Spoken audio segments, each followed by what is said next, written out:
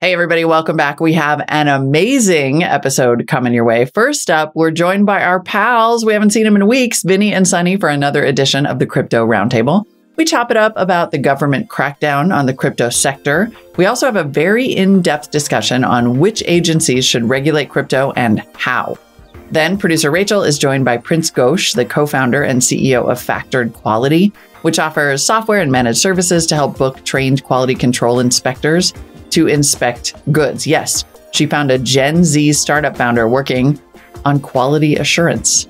It's going to be a great show. Stick with us. This Week in Startups is brought to you by Microsoft for Startups Founders Hub. Microsoft for Startups Founders Hub helps all founders build a better startup at a lower cost from day one. Startups get $150,000 in Azure credits, access to OpenAI APIs, free dev tools like GitHub, technical advisory, access to mentors and experts, and so much more. There is no funding requirement, and it only takes minutes to join. Sign up today at aka.ms slash this week in startups. Merge. Let your developers get back to their core product. Merge is a single API to add hundreds of integrations to your app. Integrate up to five customers for free today at merge.dev slash twist.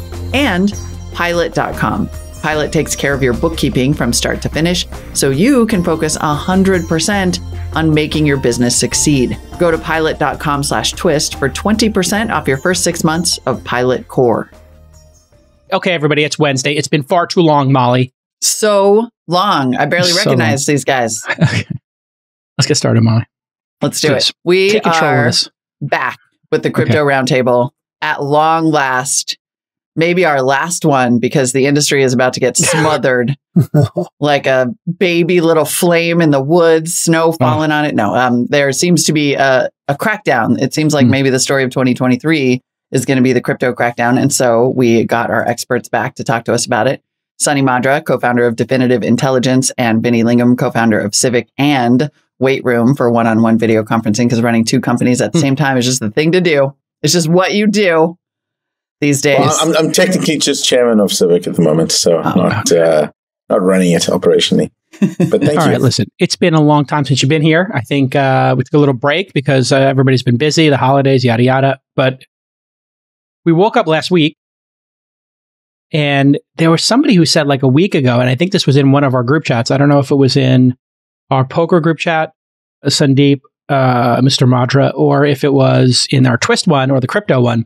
But somebody, like a rando, was like, I hear there's going to be a bunch of crypto SEC actions. Mhm.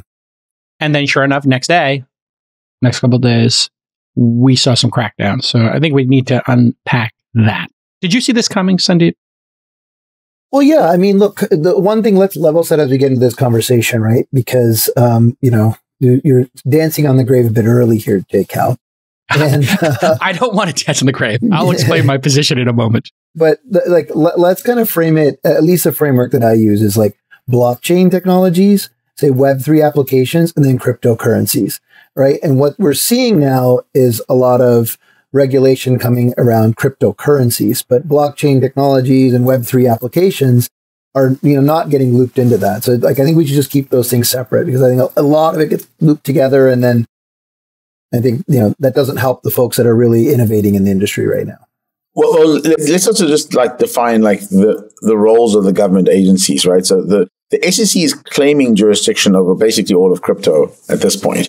Um, Cryptocurrencies, Vinny. Cryptocurrencies. Cryptocurrencies. Yeah, cryptocurrencies, right? Right. So the, the CFTC says that Bitcoin's under their jurisdiction because it's a commodity. Um, you, you, you have, I mean, we have, a, first of all, jurisdictional battle, and potentially there's, I think there should be a separate agency, but that's just, you know, I think there should be a digital assets agency that gets created, but that's a separate view. And I, I think that, that trying to get these agencies to, you know, they still have to go to court and fight this. And the SEC has lost a couple of battles in court already, uh, you know, uh, in the cryptocurrency world. So it's not fair to complete that the SEC has, you know, uh, jurisdiction and that if people are breaking the law or are breaking law, that, that the, the SEC has the right to enforce uh, action against them. So they can be challenged. And, and Coinbase has made it very clear that they're going to go and fight in court. And I think others will do the same. Circle will do the same, etc. So, you know, when you say there's a regulatory crackdown, I agree I think that it's debatable which agency leads the crack, so-called crackdown, but I think we are going to see, you know, um, governments around the world crack down a lot more on crypto uh, in general. The flip side is governments can never coordinate anything, so they, they, they can't really you know coordinate attacks between different governments, and some jurisdictions will be friendly towards crypto, others won't be. Um, so this is not going to play out over three months, Jake, or six months. This is like five years, like the next two administrations at the US level and, and probably other parts of the world. And so in that time, I think crypto has a a path to you know escape velocity where you know like Bitcoin, no government can actually shut down Bitcoin, even if they wanted to. They can shut down the gateways. So you can say, well, we won't allow money transfers from banking into Bitcoin. They can try and depress the price that way. But in a long enough on a long enough time frame, um, the, the decentralized cryptocurrencies will be outside the purview of governments because you can't stop it. Okay, just Right. a level set here. I loved your definition, Sundeep. There's the Web3 application level, there are cryptocurrencies, and then there's the blockchain. I don't think we need to define those things. Everybody understands what you're talking about on This Week in Startups. If you don't, you can look up cryptocurrencies, blockchain, and uh, just a Web3 definition. I don't think that requires uh, any uh, definition uh, on a show of this level of sophistication. However, Molly, uh, being the expert you are on all things finance, uh, perhaps you could catch us up on the mandate of CFTC. Yep. And So we have- SEC, and the difference between those two to to then catch us up on Vinny's position that hey, which agency should be involved in this? Who do we call? Right. Which is a great, and that's an outstanding question, right? It's sort of how a lot of times you might see like volleyball, nobody calls the ball between the FCC and the FTC, right? And those mandates might overlap. And in this case, you have these two agencies, the CFTC, which is really all about uh, the trading. It's this relatively new federal agency that deals with derivatives markets, futures contracts, options, and swaps. Then you have the SEC, which is all about protecting investors, maintaining efficient markets, facilitating capital formation. And both of them seem to sort of fundamentally be saying, and possibly rightly, we have, possibly, we have some reason to come in here. There are aspects of the cryptocurrency universe writ large that are 100% about swapping and derivatives and futures and the kind of financialization that we've talked about in this show for a year now. And you have the SEC saying these are pretty clearly investment vehicles in some cases. We are going to classify them as securities because they seem to follow all those rules. So I guess what you're saying, Vinny, is maybe like both have jurisdiction or none, or this could get delayed, this sort of idea of enforcement as these two agencies Before we do like that, fight Molly, it can we step back for a second and maybe Yeah. just I think we have in the notes the mission statement of each one, or maybe in the, in the. Mm-hmm. Slack. Can you just read those so that we just level set with the audience? Because they hear SEC, SEC, they think they know what that is. They hear CFTC, and I, I couldn't read you off the top of my head the mission statements, but I think it's important to take from Yeah. their website exactly what they said. Yes. The Securities and Exchange Commission has a three part mission protect investors, maintain fair, orderly, and efficient markets, and facilitate capital formation. Got it. The mission of the FTC is to promote the integrity, resilience, and vibrancy of the US derivatives markets through sound regulation. Got it. Okay, it's pretty clear. Yep. And then their mandate is, according to Investopedia, they're the federal agency the, that regulates derivatives markets specifically. Got it. Yeah.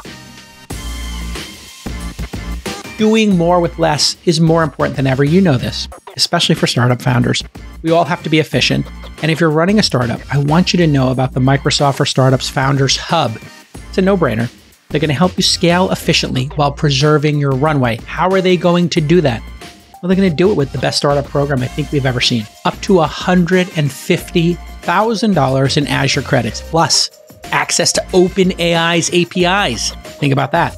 As well as the new Azure OpenAI service. And listen, there's other things that Microsoft has available to you as part of this program. How about free access to GitHub and Visual Studio? How about one to one technical advisory and expert help on topics like product, fundraising, and go to market? How about access to a network of mentors that are plugged into the startup world? Plus, free access to partners like LinkedIn and Bubble, which can help you build your MVP even quicker. Microsoft's so generous. The Microsoft for Startups Founders Hub is open to everyone. Whether you're in the idea phase or you're further along, there's no funding or requirement. They want any founder to be able to get access because they want all founders to succeed. It's really a no brainer. It takes five minutes to apply, and startups can get massive benefits immediately. Go to sign up right now. Let's take a pause and write this down, everybody. aka.ms slash this week in startups. Like I said, most generous program I think we've ever seen on this podcast. aka.ms slash this week in startups. Thanks again, Microsoft. All right. So that's what they say on their website. So, Vinny, when you look at those two things, uh, to Molly's question, like, how do you interpret where specifically staking, because that is the action we saw this week, is the act of staking. Where would staking fit for you here and why? So this, this, is why, first of all, I don't believe that um, two agencies can have jurisdiction. I need, like, because then who takes enforcement action when there is action? So I do think that that's that's a conflict. Um, I think that that staking is should be defined into an entirely different. Um, this is why I think there's a, we're missing an agency. We're missing a digital assets agency or something. Okay. Um, and mm-hmm. and I think that uh, that if you think about what is staking, right? I own some Solana and uh, I go put it into a, smart contract, and people who need to use that Solana pay me some sort of a return for using it. Um, you know, whether it's uh, well, if you do native staking with the network, then, then I'm saying I trust a certain validator and I will get um, uh, rewards back from the network as a principal. I get a share of the rewards, which is very predictable. There's no, and it's not dollar denominated. I'm getting it in the actual currency that I'm staking. And then obviously you get different different types of staking. That's just Solana, but different types of staking, which you get paid a reward, a certain rate of return um, for it. The, the, the, the quest, I mean, like the SEC, I see their point. This is a, a, way of making money, so to speak, but it's not money. It's not US dollars. No one's promising me a return dollars. It's fixed in the unit of, of cryptocurrency I'm getting. So it's like, you know, I go buy seeds at a, at a, at a, at a, um, a plant store. I plant a tree and it gives me apples, right?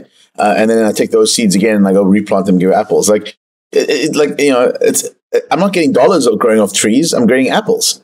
So, so your argument there and your definition of staking is you put something in, you get more of it back. Sometimes it's transformed. We do we do know that happens sometimes. It throws off some new currency or token, but it's not currency, even though people paid currency to get it.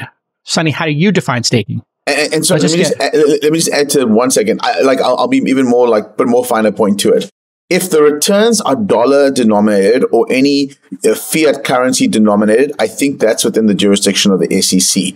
If the okay. returns if the returns are not denominated in the fiscal currency of a country or of a sovereign region, and it's denominated in the underlying asset um, rewards, like Bitcoin, for example, as well as if you're a miner, you're earning Bitcoin.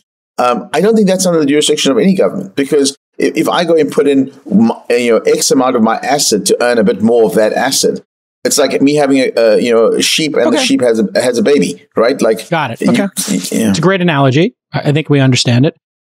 Sunny, maybe you could try defining staking for the audience. Explain staking, what it is, and maybe why the SEC is taking these actions against stakers.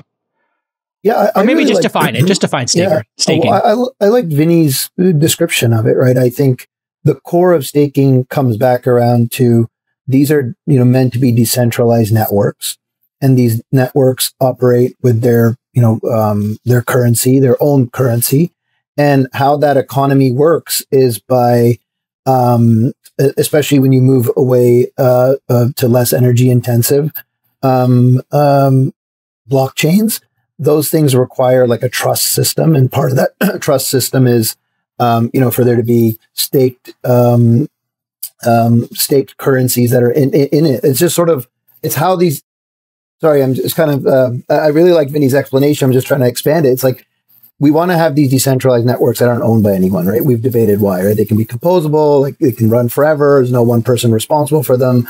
And so in order for that to work, you need kind of staking as part of the underlying system for the blockchains to work.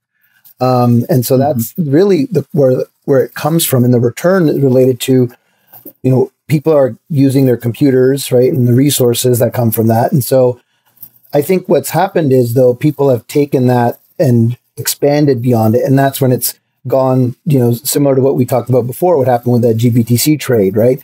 People have gone in there and it, it starts to kind of become the core of other things. And so I think that's the danger, in my opinion.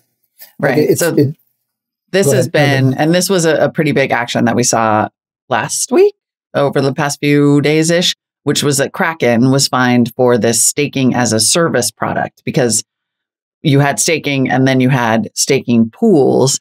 And this is where not only is Gary Gensler and the SEC, you know, not only are they wading in with fines, they're actually like trying to do some education around this. So we pulled up this video um, of Gary Gensler chiming in on Twitter about why the SEC is banning staking. Here's the rub.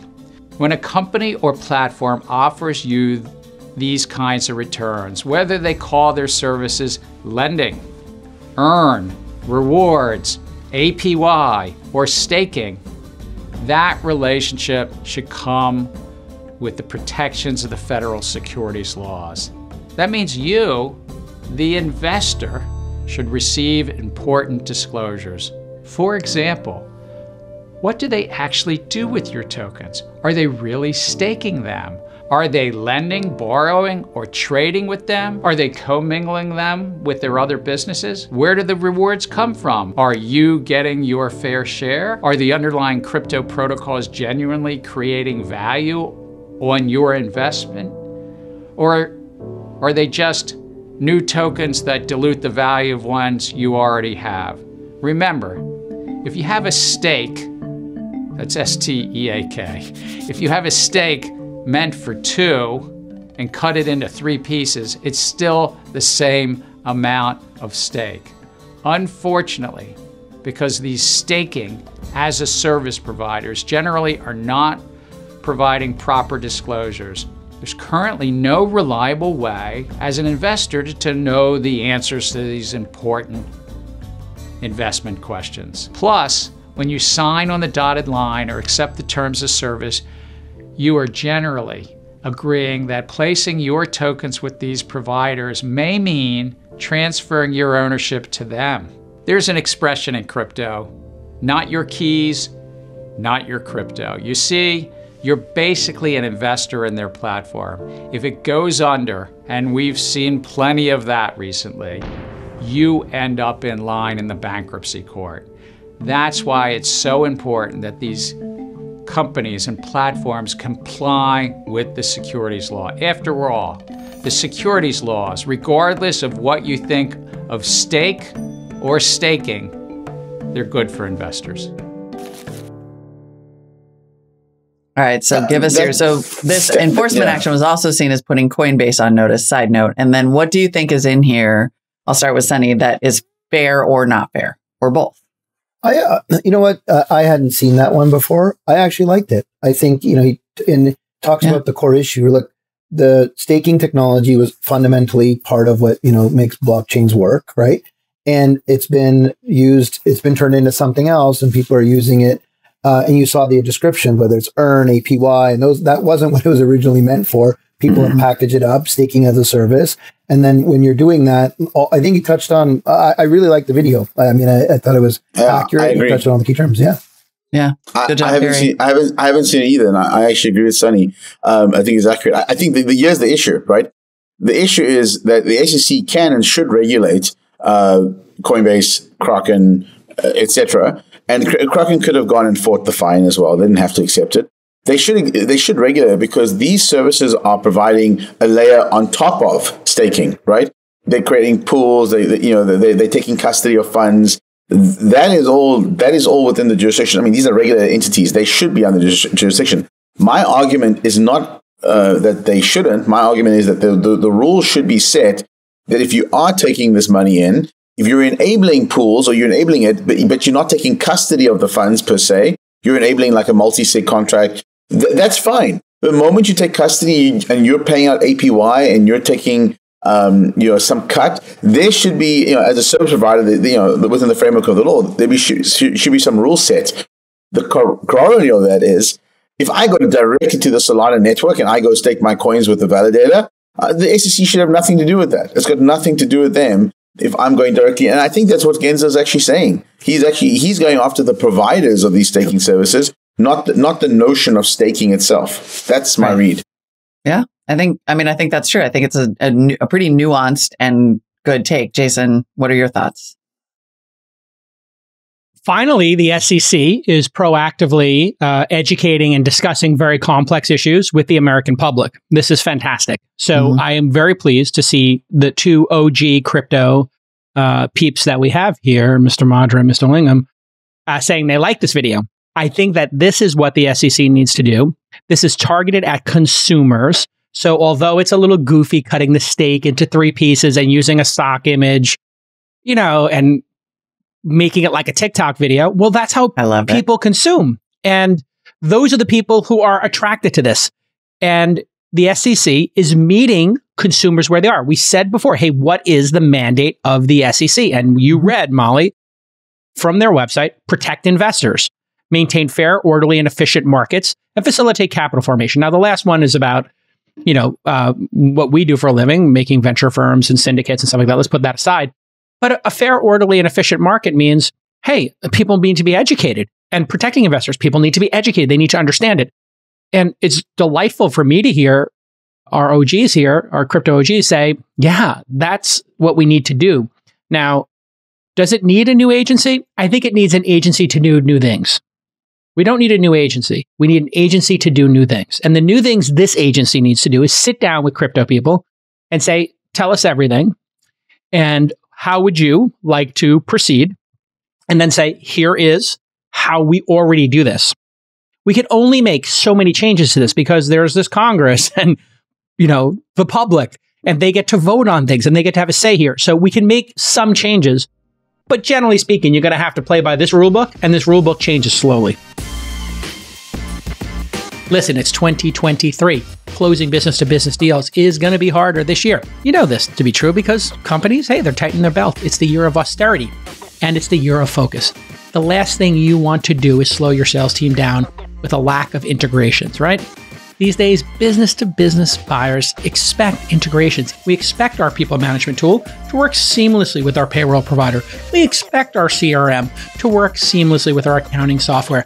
If it doesn't, it's a huge issue. But when you start a company, integrations are brutally hard. They take a ton of time, but Merge makes them way easier. Merge is the leading unified API that allows you to launch integrations in days, not quarters. Think about that. All of these integrations are out there. What if you could just have, boom, over 150 different integrations across five different categories human resources, information systems, ticketing? It's all just built into Merge so your developers can get back to working on the important parts of your product. Merge is the leading unified API that allows you to launch integrations in days, not quarters. That's all you need to know. So here is your call to action. Merge has unlimited integrations and they charge based on how many of your customers use these integrations. So here's what they're going to do. They're going to give you five linked accounts for free today at merge.dev slash twist. Again, five linked accounts for free. There's just no cost to you. Free. You know what the word free means. Free. M-E-R-G-E dot dev slash twist. I've been sitting here and I, a lot of this comes to my own personal jealousy of crypto. And I will put that out there absolutely honestly. I am incredibly jealous that capital formation for crypto companies can be done with anonymity, with global scale, with absolutely no fees.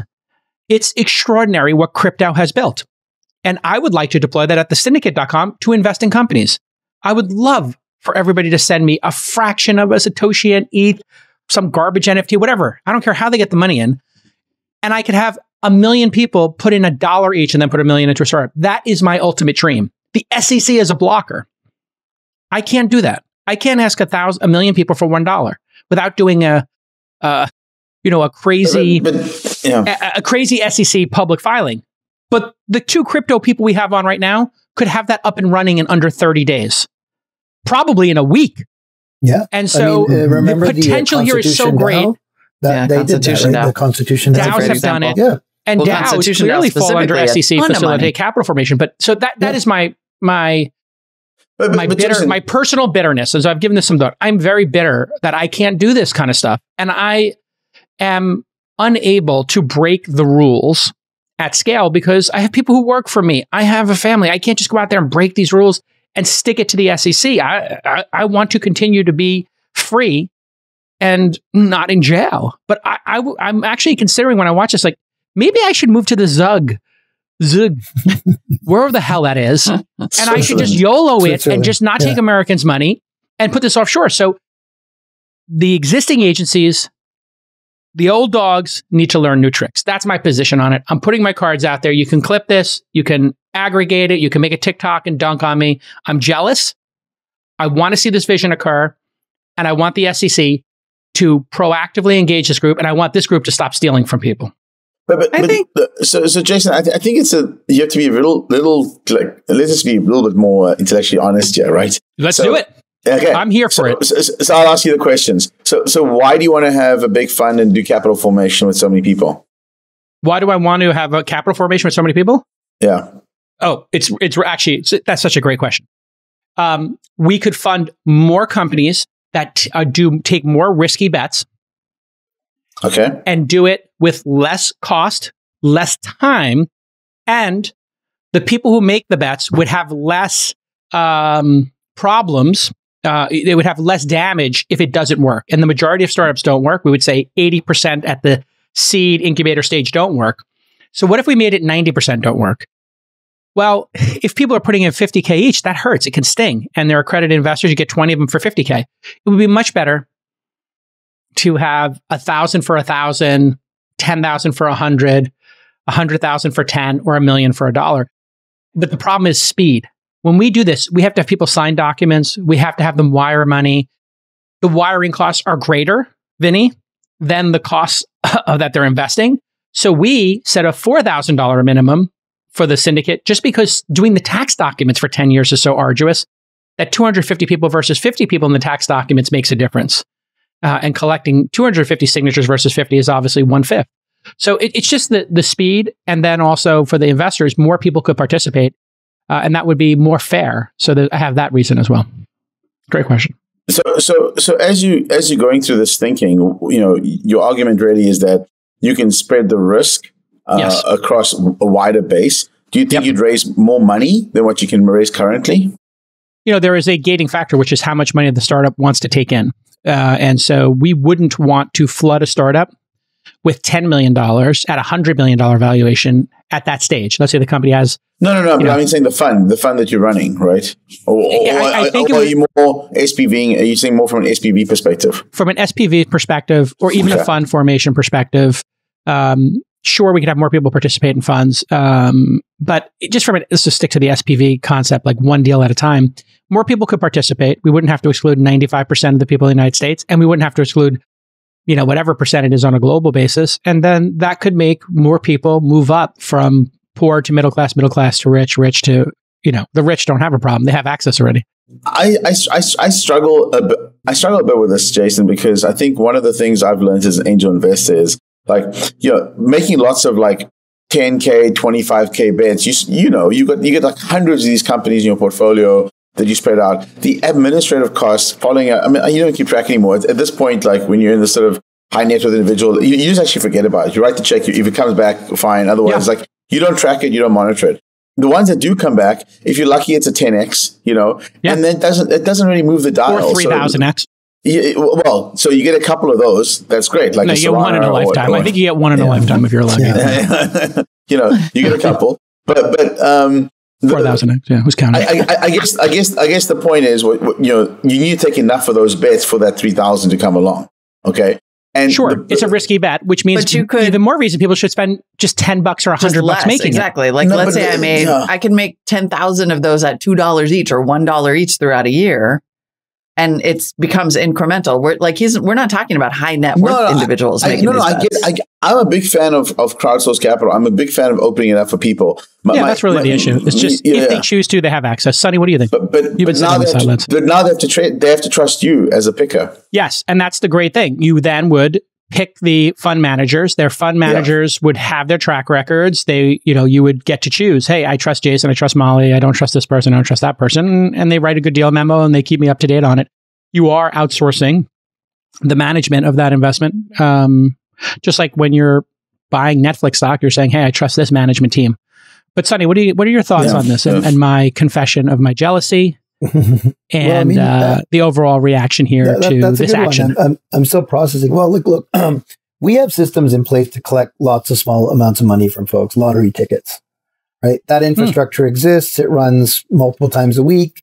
Sometimes you can Nice. 700 million X your money, right? Hot take Because you coming can- in. right? I love it. so, um, you know, the systems exist to do it. I think the structures that yeah, no one is, you know, protected from buying lottery tickets, right? Like you can buy one, you can buy a thousand dollars every time. Um, so I, I kind of feel like there's a philosophical conversation that has been kind of layered out within society that has us in this spot because it's okay if, you know, when the Powerball goes to, you know, whatever, hundred, seven, couple hundred million or billion, it's been a few times, right? No one stops people from buying whether it's $1, $10 or $1,000, right? And the odds of return there are really bad, you know, right? Like, you know, And what do you learn? hmm nothing. And so Nothing. I think there's like some societal constructs here that are really, you know, are holding people back. And it's less about the technology or anything else because we, we enable it in other places. And so that's It's that, so interesting that you say that because we are also in the midst of throwing open the barn doors on sports betting in the United Yeah. States, which is a very similar. Oh, great I mean, right? If it's all just gambling, Nick, now we're saying like, yeah, you can bet all you want. I mean, the truth is that finance is always gate kept finance. And that is why Bitcoin was conceived, right? Was to like tear down these walls like barbarians at the gate. Enough with this. And then to get back to the SEC and kind of this enforcement question, the old demons of finance co opted a lot of this. And I would argue the SEC doesn't actually need to learn that many new tricks because what they're talking about now is protecting investors. That CFTC is talking about derivative swapping. Like once the tools of finance were applied, then it seems to me that the old gatekeepers of finance 100% apply here. They 100% have jurisdiction. The question is, what can survive and what should survive of the original vision? Like your point, Vinny, right? If you stake one Solana, one soul, fine.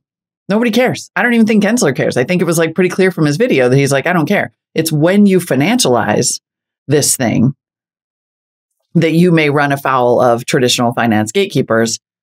And also, we should probably acknowledge that I'm sure banks still don't want this to exist. So, like, is the mission of enforcement that could be Mm, 100% cynical. legit going to Mm. get wrapped up in this idea that, like, the gatekeepers ideally would love to strangle Bitcoin in the crib? This is why I got to get Brian Armstrong back on the on here because this is a very calm discussion. This Does got a little to? heated. Yeah, exactly. No, I do. I, I like. I'm a fan of Brian's. I have. A, I'm a fan uh, oh, no, I'm saying, Jeremy does he come on? Because he seems I mad think so. you. I think so. I think he prefer to come on all in. Um, I don't think he wants to face me alone. Um, in all cases, he actually came on the podcast before they were public, and then after they were public, he asked to come on all in. All in passed.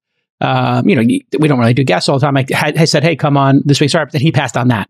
So I was like, "All right, you know what?" And you know, and then he decides he's going to dunk on me.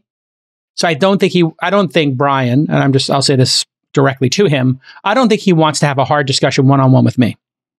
I Hmm. think he wants to, you know, have it with the other three besties there, so he doesn't have to face my level of criticism. Um, and you know, he he he then uh, pull up the tweet just from Brian, not mine, please. Um, he decides when I say like, "Hey, you know, crypto needs to play by the rules." He's like, disappointing to see you duped by this, Jason. There is no way for crypto firms to come in and register. It was fake. The SEC's own commissioner uh, Hester Peirce, who's been on This Week in Startups, is great. Uh, she's very well spoken, essentially confirms this. So I'm like, come on, man. You don't need to dunk on me and tell me I'm getting duped. Did you guys see this thread with me and Brian, by the way? I don't know if you yeah, saw it. So- go down. Okay. Yeah. so I said to him, listen, here's the facts. Crypto firms made up a new securities framework and ignored the rules. I believe that's true. Web3 startups and their VCs swept mountains of cash off the table from uninformed civilians. I believe that's a fact. And the SEC is here to protect civilians, and many crypto firms around, so they they force their hand around. Sorry, uh, find out. So anyway, we got, got a little heated. Got a little heated.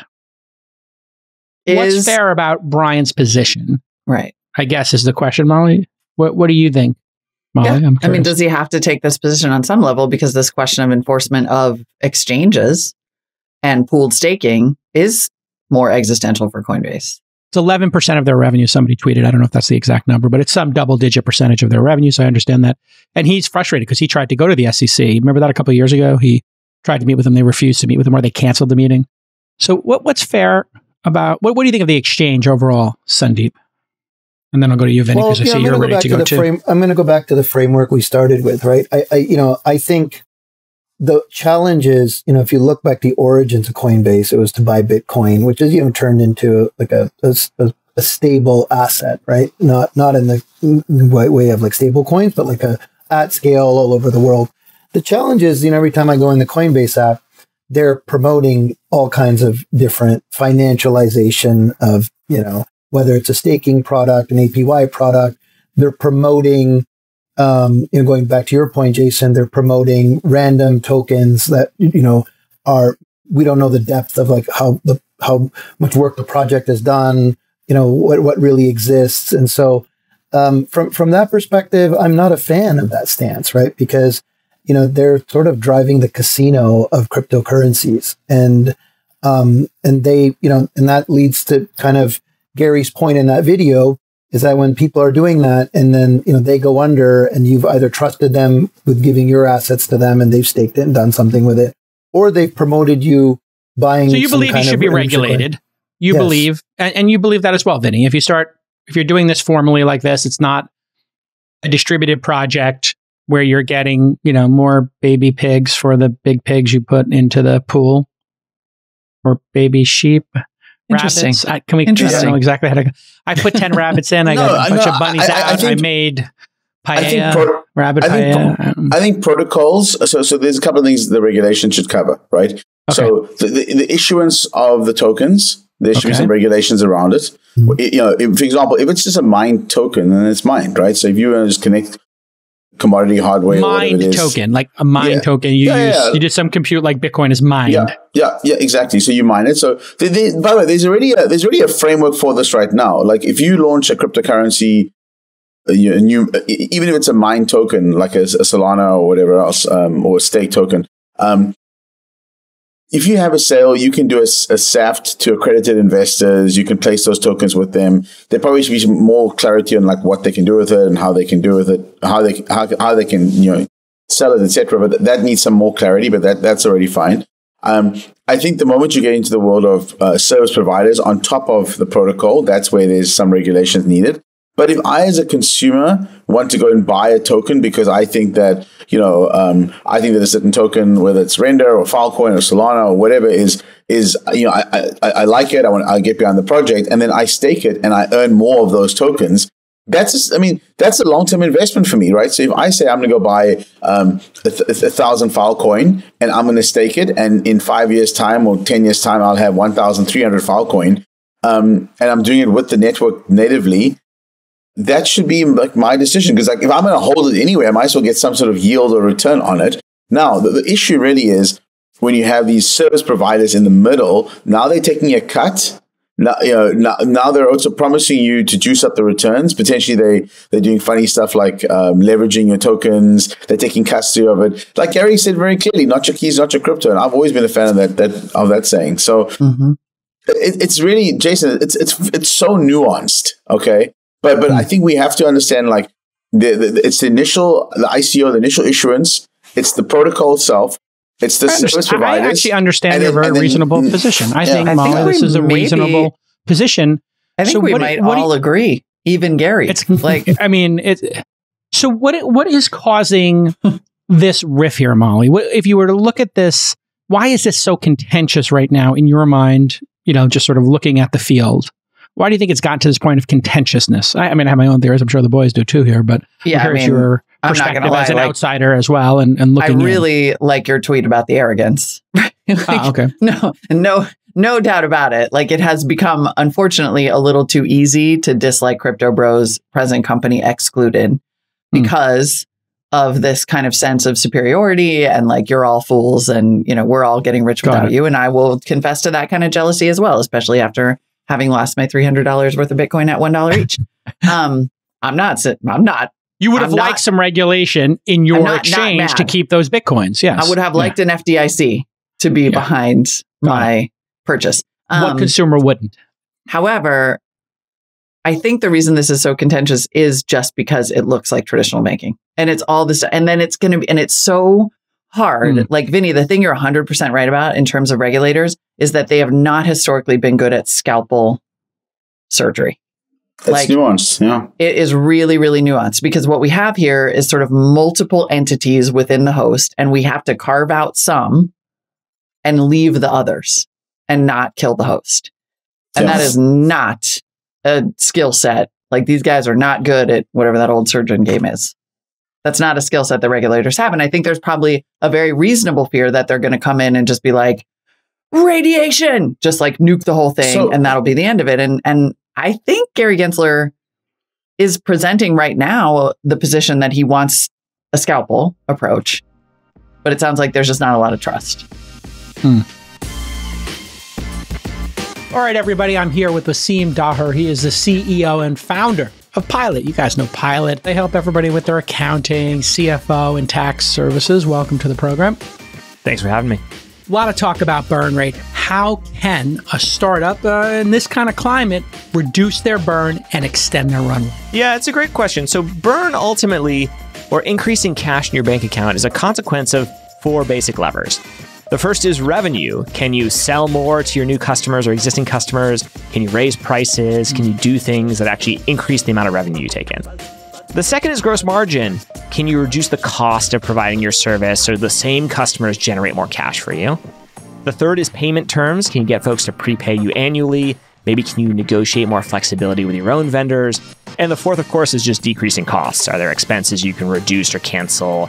Are there investments you can defer until subsequent years? Yeah, great advice. And you got to look at all four of these things. And man, sometimes a customer can pay a little bit more, and founders are scared of raising their prices. And sometimes they're lowering their prices when they should be, in fact, raising them because they're providing more value. So really think that through.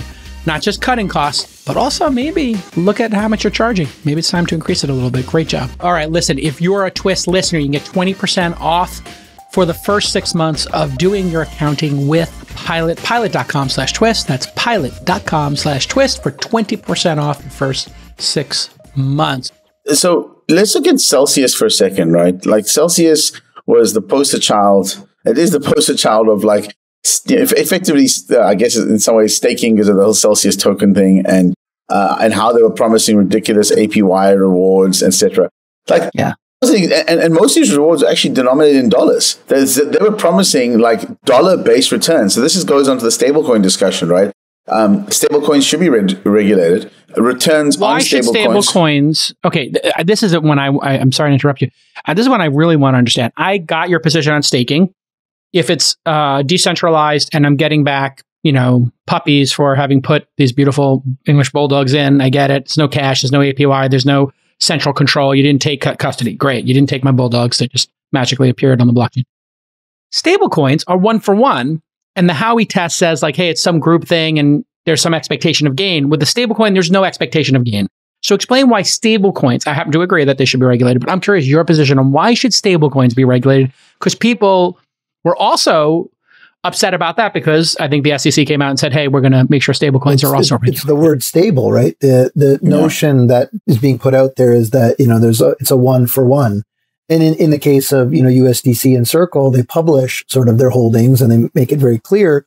In the case of some of the other tokens, some which we saw go to zero, which we didn't share that the stable wasn't really stable. It was like either algorithmically stable or the underlying assets haven't been disclosed. And I think that's that goes back to the you know the financialization discussion, right? That's like the the what's being and Gary said that in the video. What people are being told does that line up to what is actually happening? And I think that's what you get with some of the regulation is the transparency. You know, if if everyone uh, along you know say the last few years knew that the APYs that were being offered were really just coming from an ARB that existed down in that GBTC thing that we spoke about a few times, maybe you wouldn't have put your money there. Right. And it was that Yeah. clear in the documents. I, I haven't gone through them in detail to even know if that exists. Did, did you lose? if- did, did you lose any money in that, Sunny? Did you lose any money in that in, in the whole In- debacle? The I mean, APY. No, I, I've never not not there, but like I had money at FTX, so technically Okay. yes, but like Yeah, not, yeah. not a not a huge amount or anything. But um, but and and uh, and I'd invested in FTX, right? I think you did too. So um, well, I they- think- I, they, they acquired a company I invested in, so I, I didn't technically make the decision to invest in them. Uh-huh. But the reason I asked the question, Sunny, is of you is that you'll find a lot of the OGs, myself, Sunny, and other people, we I didn't get hit by Luna. I didn't get hit by Celsius. I didn't get hit by any of this stuff. In fact, I didn't. I didn't get hit by FTX because I never traded on them because I didn't trust him in the first place. So, uh, you know, like w- we know when something looks and smells fishy because we've been around for a long time. And most of my OG friends weren't affected. It was the newbies that got affected by all these like Right. promises of these ridiculous gains. And and so to answer your question, Jason, why I think stable coins need to be regulated. And let's just make sure that you know for the audience, there's two different types of stable coins. There's algorithmic ones, and then there's uh, asset-backed ones. Okay, and assets can be cash or bonds or whatever else. In the and I'll I'll, I'll dismiss the algorithmic one for a second quickly because Luna was an algorithmic one, but the Luna Foundation held custody of those funds. And so they were operating as effectively a, a bank managing the float for a coin. So you can argue it was algorithmic, but it wasn't really. It was, you know, it was, it was they had me- mechanism that didn't quite work. So um, I think that if you find a true algorithmic stablecoin, which um, which is where, where you know it's transparent in terms of what the reserves are, like it's kind of like what Dai is trying to do, and and UXD as well. You know protocols like that stuff is probably fine and shouldn't be regulated because it's fully transparent and fully decentralized, and there's no middleman controlling funds. Now let's go to the other side of the equation, uh, asset-backed stablecoins. So you've got things like Tether, uh, USDC, uh, which is Circle. You've got uh, Paxos has got one, etc., etc. These these coins, as Sunny said, are supposed to be stable in value, but the stability comes from trust. So you have to trust the underlying counterparty holding those funds. So whether it's Circle and and what they're holding it in, are they holding it in U.S. dollars? Is it short-term treasuries? Is it long-term treasuries? Um, what happens if those bonds drop? Like, how much liquidity can they provide? Now it's basically acting as a bank. They issued you a digital token saying, I've got a dollar in the bank account that's, that's worth this much, and we will manage that. And so in the real world, if a bank goes under, you've got FDIC insurance, you've got a whole bunch of regulations. In, in the stablecoin world, you don't have that, and people have to try. So, so I always say that you need regulations when something is not trustless. When something is trustless, regulations should not apply. And, and, and that's for me the key definition between when regulations should apply. Who am I trusting?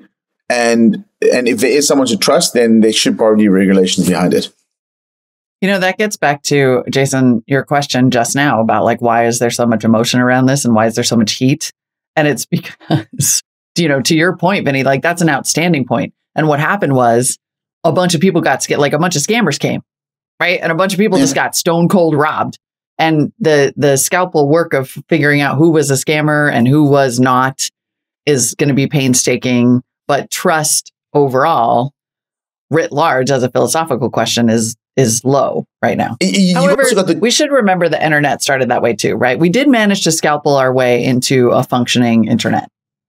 you do have a ge- geographic issue with like you know uh, Luna being offshore and and and Tether being offshore, and so how do you like you know, how do you regulate these things, right? So so I think the, the, the SEC's job and the U.S. regular job is to protect U.S. consumers. So these coins that are sitting offshore should not be uh, you know like traded in the U.S. Eh, like I I don't think Tether should be. I don't think um, you know Luna should definitely have not have been. I think that if you want to be have access to U.S. citizens, it should be in a regulated um, stablecoin like USDC or similar, um, because now we're trusting. Like, I mean, I have no faith in Tether. I don't think I've ever held Tether in my life. Like, I, now I I- do think they probably have the money there, but I know for a fact at one point they did not have all the money. They were totally insolvent. They were underwater. They printed their way up. Bitcoin went on a run. Whatever the case is, they're probably okay now. And people ask me, is Tether okay? Probably is the answer.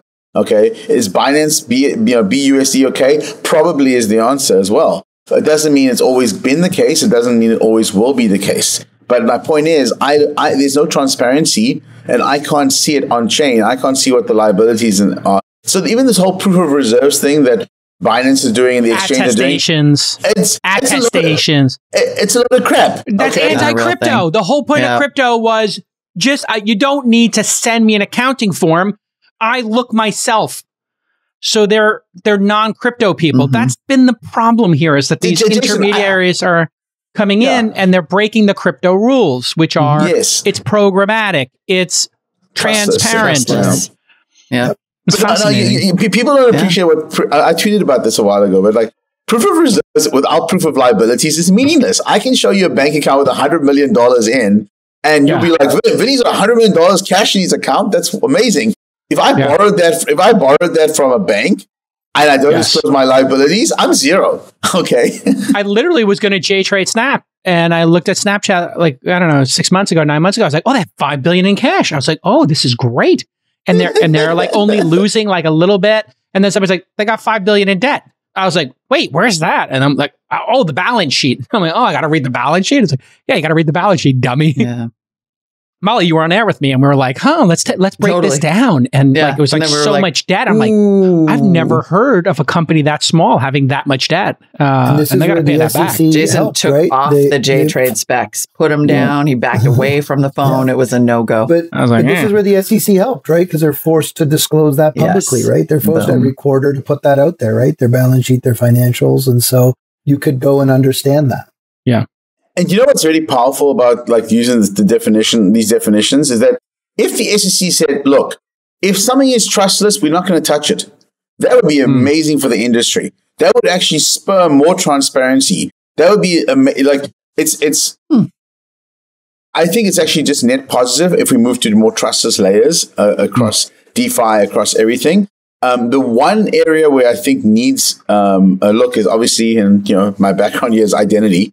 KYC, AML, those regulations, you can still do it trustlessly. Like Civic's got this technology. We we can drop a pass in your wallet. We can verify your identity. No one needs to know who you are, but we can verify things about you. Uh, a citizen, not an OFAC list, etc. Now you can use that wallet to transact. And this is practically trustless. I mean, it's it's, it's really a, a trustless type of solution. So distributed identity, uh, you know, decentralized identity, and um, you know, just a hands-off approach, the more de- the more uh, trustless your system is, will help crypto developers not take shortcuts. Because right now, it's really easy to do a shortcut. Let's just go partner with uh, Coinbase for staking, and let's go partner with this other company for staking, and let's like outsource all this stuff, and let's spin up something very quickly.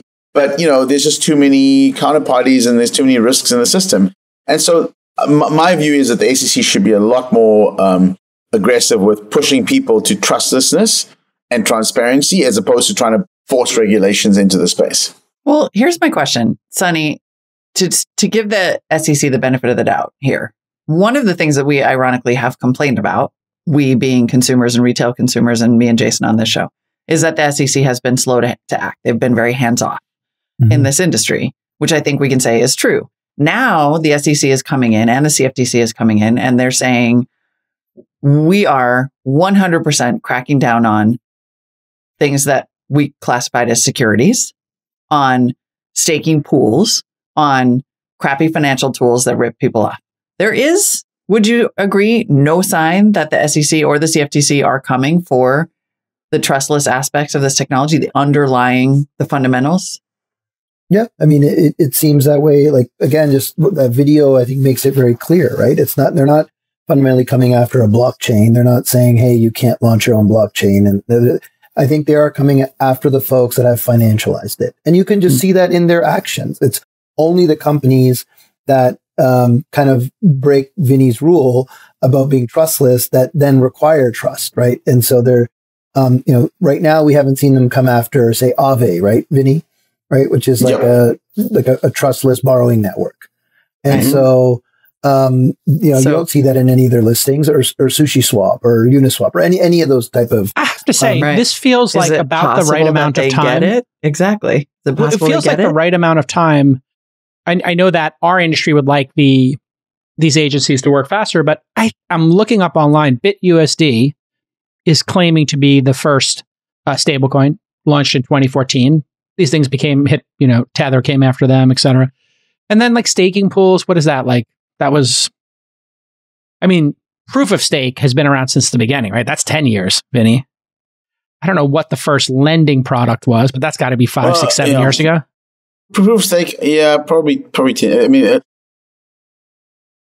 Ethereum kind of pushed the envelope on that. So, and- but they only. What was the they- they- first they- lending? Do you remember the first time you heard of a lending? Like, hey, lend us your stuff. We'll give you some APY. We'll give you some extra tokens. What was the first one of those?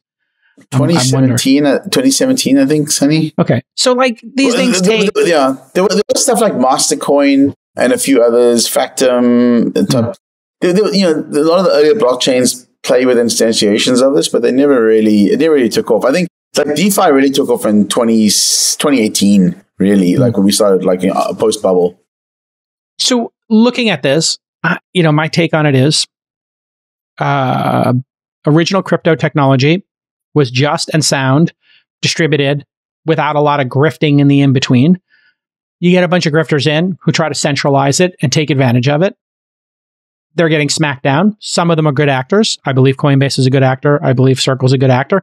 Other ones are not good actors. I believe Tether is a bad actor. I believe Luna was obviously a bad actor. We could all have our differences here uh, in terms of which ones you think are good actors, bad actors. And now the SEC and other agencies have to sort through this mess in Meshuggah. It's going to take them a little bit of time. Uh, should they have moved faster? I guess. Should people have played by the rules a little bit better? Of course. And uh, here we are. I think we're we're close to having a framework. I don't think we need a new agency, Vinny. I think the new the existing agencies have to learn the new tricks, and, and we're close. But I do think people like Circle uh, and Jeremy Allaire and Brian Armstrong should be invited. They should be, um, I don't know, engaged civilly and seriously by the SEC and these organizations because I believe they are good actors and they're trying to do it right. Uh, but they should also not have their employees front running. And this is where I was like, hey, Brian, you know, don't tell me I'm getting duped when your own employees are being convicted of front running or employee. I don't know if it's multiple at this point, but you can pull up that tweet or you can pull up the actual story. You got you know, these these crypto companies have p- employees front running the market, knowing when things are going to get listed on Coinbase. But just a defense here, Jacob. That's like could be just a bad actor within the business. Of course, it's right? a bad It wasn't. actor, yes. Yeah, it wasn't a design of Could happen Coinbase to anywhere. do that. Yeah, but I think like yeah. then going this is does. back to the arrogance we're talking about to go after people and tell them they're getting duped. For Brian Armstrong to tell me I'm getting duped is just insulting. You know, I mean, th- t- to, look, uh, let's just let's be a little bit more balanced here, right? There, there, there are bad actors and good actors in this industry, and, and there's course, in probably all more- industries. yeah, in all industries, and there's probably more bad actors than good in crypto. boiler room of- is great boiler Yeah. rooms. Uh, Jason, you're not wrong. mean, you're not wrong when you say that most of, most of Yes. most of crypto is a, most of crypto is a grift. Like most of it is a grift, uh, especially especially the you stuff feel from, that way. Yeah, I feel Okay. that way. So You're I- disappointed in it, But and you're fought against much- it. but also even within traditional finance, Vinny, right? Like Yeah, to this yeah. to this Yes. day right now, and I I, I don't have Oh, it handy with I me. wouldn't say most, The- though. I wouldn't say most in venture no, no, capital is a so- I'm, no, no, no, not. I'm not saying that. No, I'm we're saying talking about even finance. within a, a, a you know Ah. hugely regulated um, framework. There's this public company which is like a sandwich shop out of New Jersey. Did you have you guys seen this? Oh yes, I Yeah. remember Yeah. that. yeah. This is a publicly listed company, like on like the Nasdaq or New York Stock Exchange. We can maybe pull it up as we're doing it here. Yeah. it is insane. That thing made it all the way through, and it's like a sandwich shop. And so this this type of stuff is occurring everywhere. It's not just limited to crypto, right? You, um, This is unbelievable. This story. When there's a bunch of money to be made, grifters are going to come in. And there was a They're lot of money in, to be yeah. made in crypto, and a lot of grifters came in. But like, I'm going to take the really unpopular opinion here okay. that I actually think Gary Gensler gets it. I think he 100% Huh. gets it. And I think he waited until the grifting was, you know, too big to Out of max. ignore until there was, yeah, but until Yeah. there was, until there was enough delineation, right? Like, Yeah. I do not believe he is coming in trying to nuke all of crypto. I No. think he is attempting a scalpel move here, and it might be tough. And you can Hmm. debate the timing of it, but like the fact is, like I, I see no sign that he that he and the SEC at this exact moment don't understand what they're doing here. What they Let's seem to be saying is this financialization is BS. And now let's talk about sandwiches. Well, yeah, I just I, I can't leave the audience hanging. Three men charged with fraud in hundred million dollar New Jersey deli scheme. This is why I'm the world's greatest moderator. Because when I hear something that's just He's so like, "Uh-uh, incredible, nope." I have to stop the show. I just just recap it, for folks. Three men were charged in various crimes, including um, the CNBC, uh, including securities fraud in a scheme involving a small town, New Jersey deli. Your hometown deli, that's the name of the deli, was operated under an umbrella company called Hometown International. You put the international there, it makes it more formal. It became known as a $100 million deli, reflecting its owner's bizarrely huge market value. James Patten, Peter Cook Sr., and Peter Cook Jr. Never trust people with a senior and junior there with the same name. Uh, Coker, I'm sorry, face stiff prison sentences and fines for allegedly manipulating markets and defrauding investors. The, the men were charged with fraud uh, involving a company that was worth 100 million in the stock market, despite only having a small town New Jersey deli. It's incredible. This is where you this is where you only ever trust Matt Levine on these topics because Matt Levine frequently, constantly in his newsletter is like everything is securities fraud. Like this is the just important part. comes down to whether you get busted or not. The deli, lauded for its cheesesteaks and Italian subs, had under 40,000 in annual revenue. Closed earlier this year. and they were company- filing they were filing 10 Qs and all the the stuff, right? And Yeah. so people They were doing it all everywhere right. that want to yeah. So Uh, this is incredible. I mean, um, It's only it's only fraud. It's only fraud because a bank didn't start it. yeah. I mean, Yeah. whew. Good show, guys. I think we ultimately agree. I think we've landed on yeah, We we agree. That's a great video. I gotta I, I'll grab that. That's a good one to share, I think, as well. When you we put up. It really kind of just brought everyone That- together. Video, by the way, has four and a half million views. Like it tells you how hungry people are for For a, yeah. a real conversation, like a back and forth about this. You guys wanna see the if manager? People actually understand it. you guys want to see the manager of this This is why Jason's the most Yeah. ADHD moderator. yeah, this is uh, Please pull it up. this up. is an incredible Please. manager of Bring him up, uh, the father son deli charging it. There he is. Uh-huh. This is Furio. Oh, There's your manager. There's a manager. he, he, he looks like a, a poor man Steven Seagal. You got a B under your cap. Hey, I'm showing a picture of Furio from the Yeah, this is Sopranos. from It's a, it's a deep pull. Yeah. yeah. Furio was. I mean, just look it up, folks. If you haven't seen the Sopranos, I have a, I, I have a prediction about uh, TikTok. Okay. What? Lay it What? on us. I Okay. just, I'm floating it right now. And I'm like, where are we going? I think it's done, and it's going to get sold this year. It's going to get liquidated, and I don't think it can be bought by one of the FAANGs, uh, but I do think it could merge with another player that's smaller, that's under, you know, like under 50 million, uh, 50 billion dollar company could potentially um, merge with it or whatever to get shareholder value, kind of back it into a, a company here, or they could acquire another company. But I think, given the Are balloon situation, Snapchat again? I was just gonna say, I'm like, you mean maybe your- one with like about I- three point seven that's- billion dollars in debt? I think Google and Microsoft could have been the people to buy it reasonably. Obviously, Facebook wouldn't be allowed, but th- those would be perfect buyers of it. I also think, like, you know, if a Disney or somebody, an entertainment company, wanted to get more video views from consumers, I think that could work too. But I think they're have a hard time managing it. But I think any company that is under 50 billion that already has a social media product up and running could merge with it. I have no inside information. But I think if you spun out TikTok and it was worth 250 billion and you had a company that was worth under 50 billion, you put it with it, you could have a pretty powerful public entity that would solve all of these China problems and all the people would get the Chinese government, Chinese investors, the US investors would all get their money out. What do you guys think about my conspiracy theory slash Well, I don't you think go it's first. I, I, Me? I- Let's go Snapchat. I any this. social network under 50 billion? I mean, I, I see where you're going with this. Like, just Any- to be any clear, of them.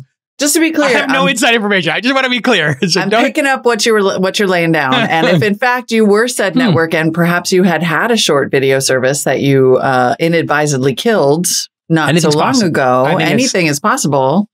I think this would be like an incredible move And by you already have alliteration, twit talk. I'm just saying. Twitter. I think it would be like really interesting if like a Twitter or a if a Twitter or a Snap.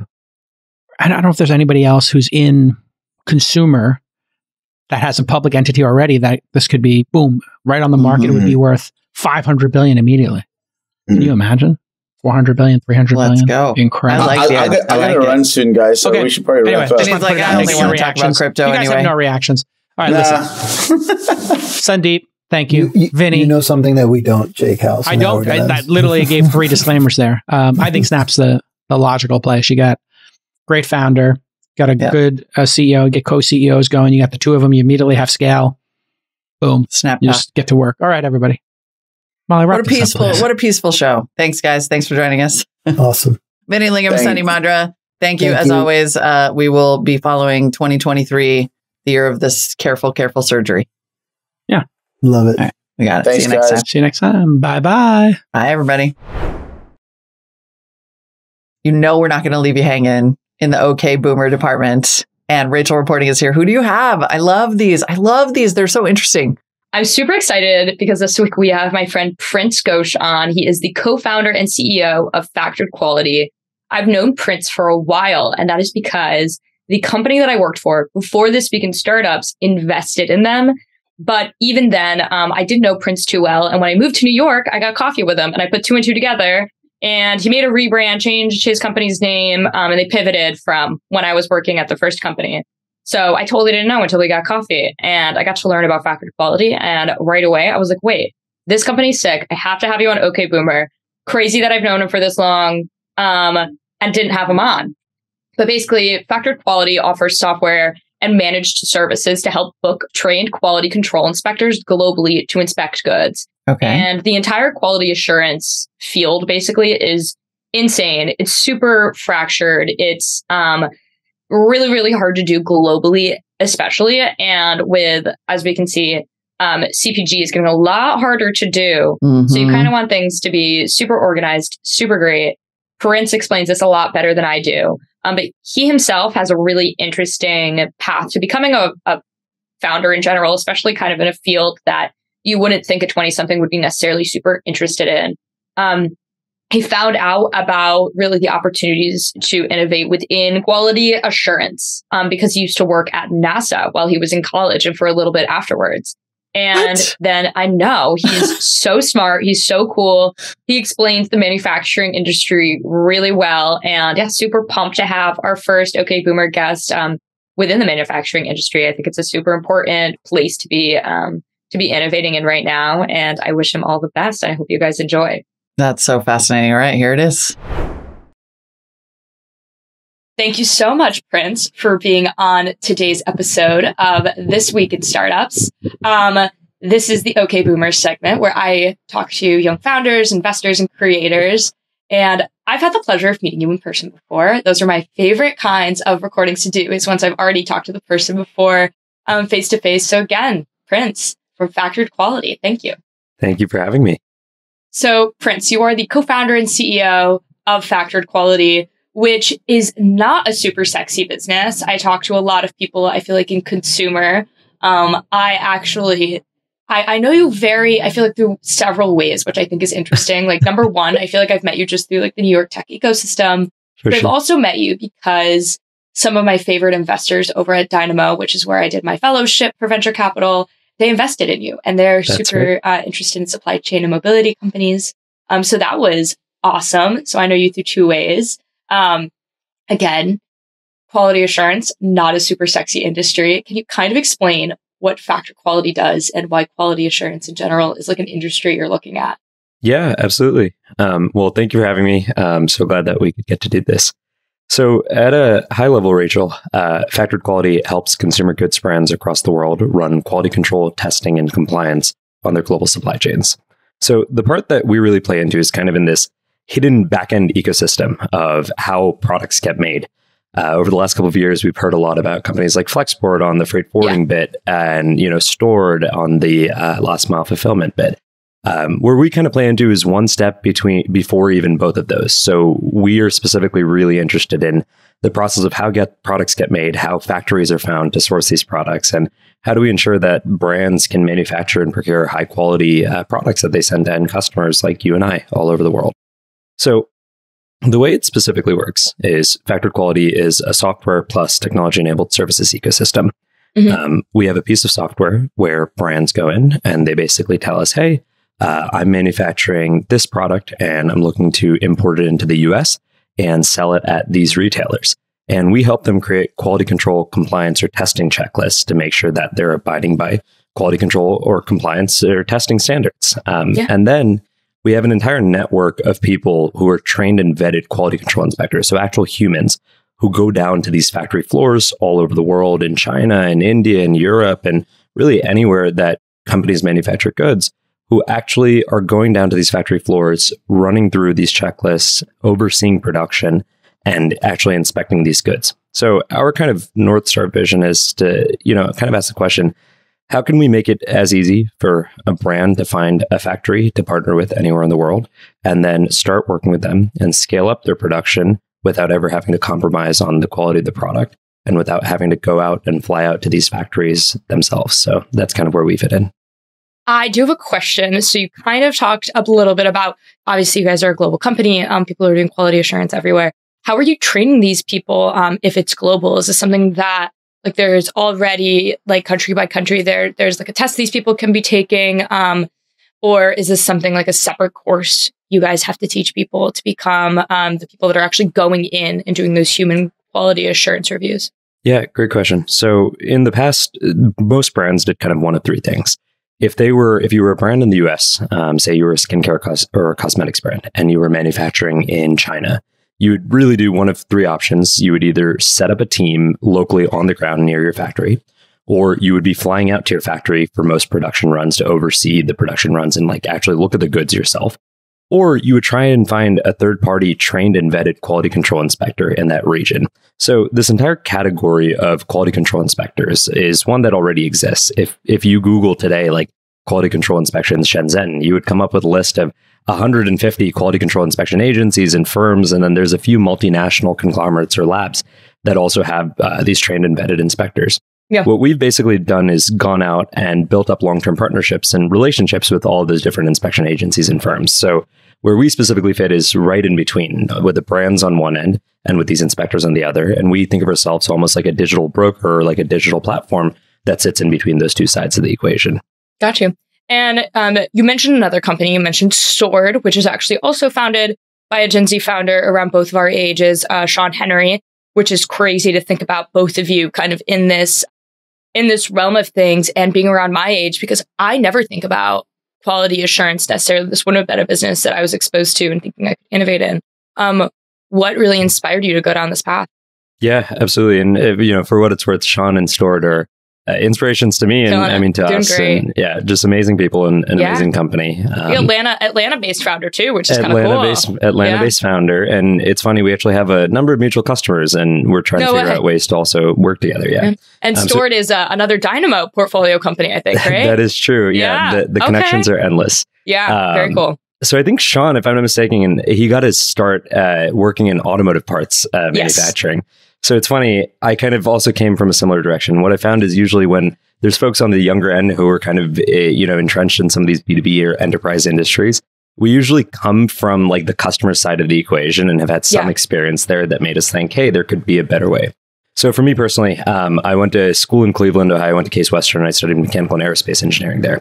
And I thought I was going to be an aerospace engineer for the rest of my life. Um, and I started out initially working for NASA. Uh, has a research center in the Cleveland area and a number of you know suppliers and contract manufacturers in that region. So I was working in the kind of defense and aerospace ecosystem over there.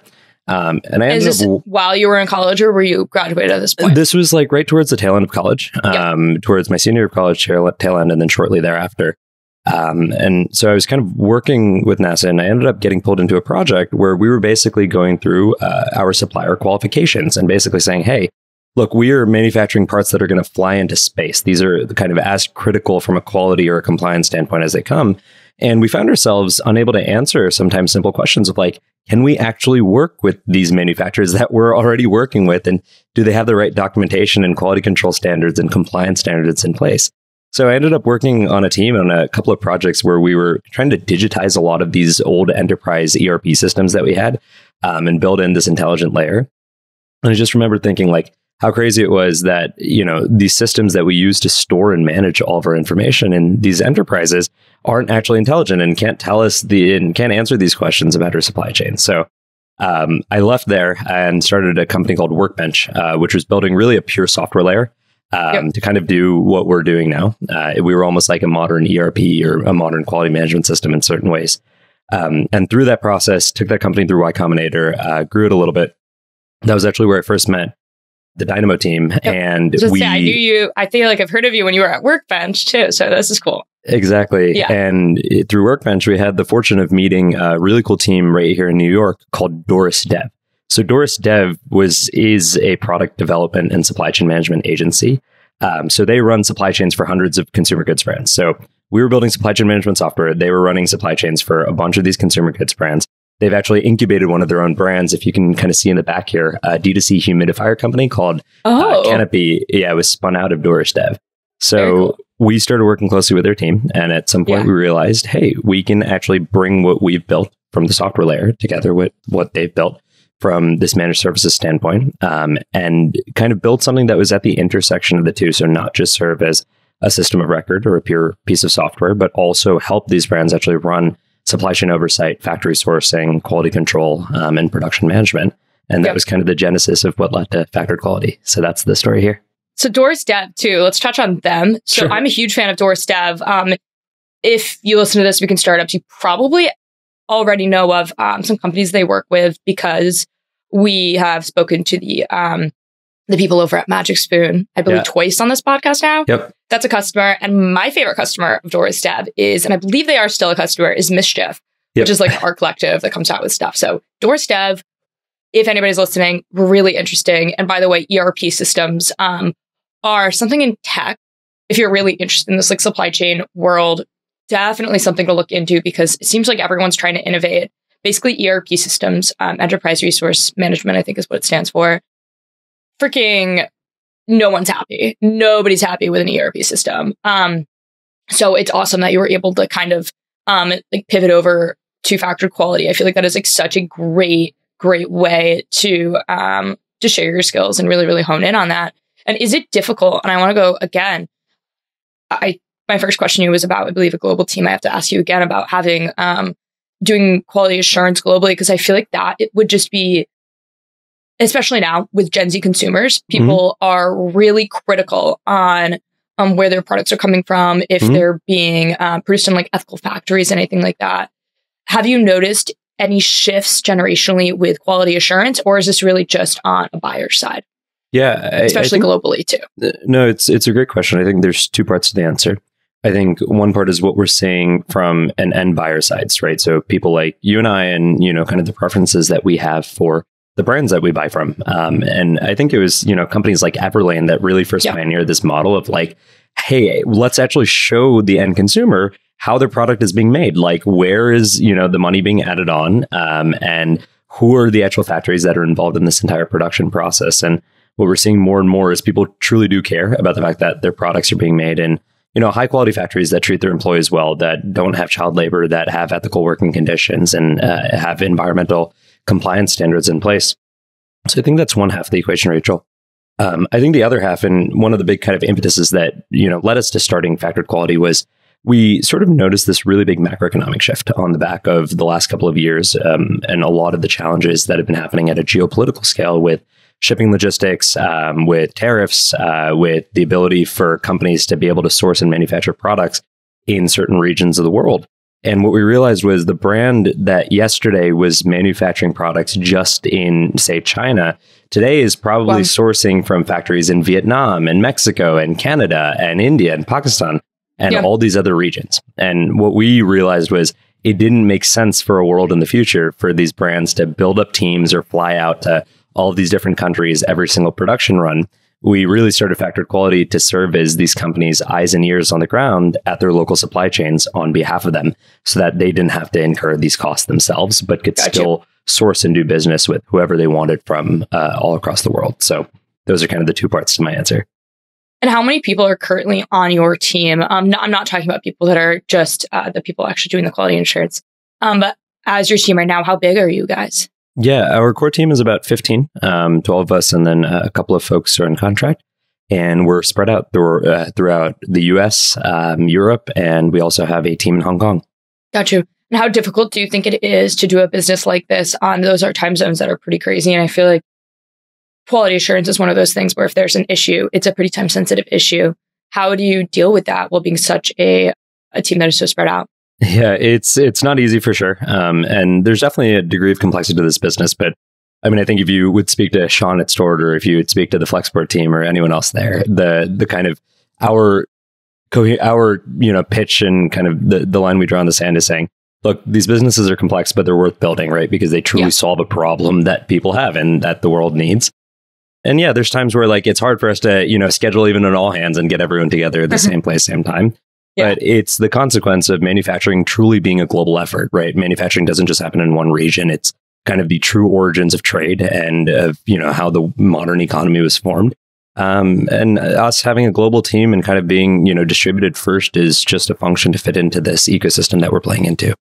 Awesome. And if you were going to change something about um, manufacturing in America, or I guess give me one prediction that we're going to be seeing within the next five years, what is one trend um, that you predict is really going to take off here Yeah. Um, in America, not globally? Yeah, great question. Um, I think what we are starting to see is, at least in certain product industries, some degrees of final assembly and production being done in the US. So even if brands are necessarily like sourcing their raw materials or their individual components, right, from suppliers internationally, um, we have seen some degree of a trend of people doing the final assembly and then that last mile fulfillment and storage, of course, um, at warehouses and distribution centers here in the US. And I think we'll see more of that there's a couple of really cool companies um, that are building really cool advancements in uh, also different manufacturing processes. So you and I, we both know Austin Bishop, uh, who is one of the co-founders Yep. of Atomic, um, and Austin and I, we went to college in the same place, and his co-founder at Atomic, Aaron, still runs the company, and um, Atomic is doing something like incredibly interesting in the Yeah. injection molding space and trying to make it easy for us to build up injection molding capacity here in the U.S. So um, lots of cool companies that are building a lot of this infrastructural advancement. But yeah, I think that's what we'll start to see more of. Fun fact my dad said um, if he wasn't doing his current job, and by the way, he, he still works in logistics, Okay. he would have started an injection, an injecting molding company focusing on farm equipment. So there you go. Um, yeah, obviously this has been a this is even an issue that uh people um that have been in the industry, I guess the logistics industry a very long time are seeing. So thank you so much, Prince, for coming on. Um what was the article um that came out? What was the title of it? Um if people are interested in reading up about uh you and Austin, because I know you guys had a piece um that came out together and it was really interesting. Yeah, absolutely. Um, Austin and I, we recently co-authored a piece for Forbes uh, about a month or so ago, um, talking about this kind of new wave of decentralization that we're seeing in manufacturing. I think a lot of the kind of two uh, rhetorics that have been, you know, talked about a lot in regards to manufacturing is on one end of the spectrum, everything is coming back to the U.S., and then on the other end of the spectrum, everything is staying in China and staying, you know, uh, overseas and is not going to come back to the U.S. And the sort of let's call it like a prophecy or hypothesis of where the world is going, in our opinion, is it's really not as simple as that. And what we'll actually see is this kind of true decentralization of manufacturing. Um, and Yeah. we'll see bits and pieces of some types of manufacturing going to Latin America or going to South America or going to Europe or India. And then we'll see other pieces of manufacturing that continue to stay in China. I, I think um, the Ryan Peterson from Flexport, uh, he was on a on a news source recently and said like from for their data, the U.S. has actually done more trade than ever with China across certain product categories, and Hmm. we've seen the same on the manufacturing front. So it's a it's a very intricate and nuanced world that we live in, right? And it's not so simple as like all manufacturing comes back or all manufacturing stays overseas. Um, again, part of the reason that we built Factored Quality is to be able to give brands the ability to manufacture where they want to, anywhere in the world they want to, but still feel like they have that degree of trust and visibility on what's actually happening on their production lines and on their supply chains without having to be in all those different regions. So Yeah. that's, yeah. Well, awesome. Thank you so much, Prince, uh, for joining me today on OK Boomer. This was a really interesting discussion. Definitely one that's a lot different than uh, what we typically have. And if people want to find you on the internet and ask you more questions, where can they find you? Yeah. Uh, you can find me on Twitter, find me on LinkedIn, or just go to factoredquality.com and send us a note there. Great. Thanks, Prince. Amazing. Thanks, Rachel. Take care. And that is a wrap on the week, everybody. Thanks for listening. We'll be back next week with more news and another great episode of Angel. I hope you have an awesome weekend. See you Monday. Bye bye.